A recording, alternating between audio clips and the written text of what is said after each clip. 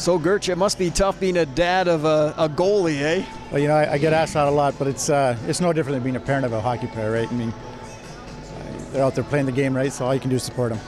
How's he doing today? Uh, the short end of a 3 0 score here, and that last goal, uh, a nifty play by that guy. That was a nice shot, but, uh, you know, three power play goals, right? So they're out there battling. You got to stay out of the box. They got to stay out of the box for sure, yeah. Tell us a little bit about him. Uh, what's uh, What kind of a goalie is he, and who does he like model his game after? Well, Arjun, uh, Arjun really likes Carey Price. I mean, uh, you know, to be intense and still be calm in the uh, in the crease. So he watches him a lot. You're from Burnaby, your family, uh, and you send him to, to OHA here in Penticton. I guess, what do you think of the program? Well, the program's great. I mean, uh, we looked at a lot of the programs, and this we feel is probably the best program that was out there on the academy side. Uh, run very professionally. They got lots of great coaches here. most of the people that are involved here are all ex NHL or WHL players, so they know what they're doing up here. All right, good luck for your son in the third period. Thanks a lot. Let's talk about your team a little bit here. What kind of team you got playing here? Well, we've got an international team. We've got uh, four boys on that team from Mexico.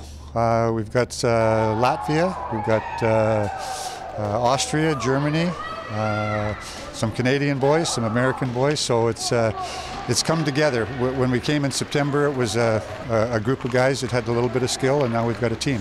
What kind of team are you? Are you A puck possession team? What do you call it? Uh, we're we're a grinding team, I guess. Uh, we don't get a lot of scoring opportunities, but uh, you know we we bang and crash in front of the net, and uh, we've been working on uh, you know keeping the players to the outside, not not letting them you know be shooting in the slot area and that type of thing. But uh, uh, we're still working on some skills with some of these boys that aren't from Canadian background.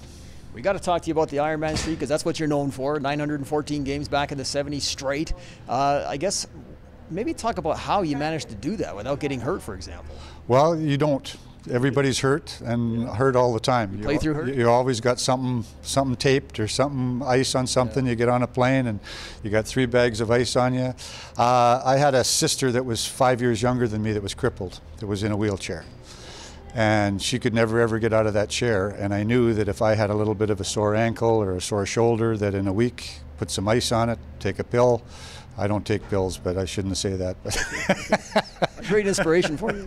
but it was an inspiration for me. So uh, I never had a chance to feel sorry for myself. I was blessed with uh, pretty high pain tolerance and. Uh, uh, like I say, uh, it's a record that I would like everybody that gets to play the game I would like to see them break it because that means that they're not hurt and they're not sitting in the press box. So I enjoyed that part of it. I always tell the kids I never missed any day of school. So that was a streak too.